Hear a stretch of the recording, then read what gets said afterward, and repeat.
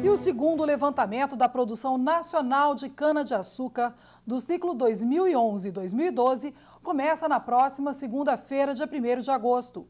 O trabalho da Companhia Nacional de Abastecimento, CONAB, vai durar duas semanas e os resultados vão ser divulgados no dia 25 de agosto.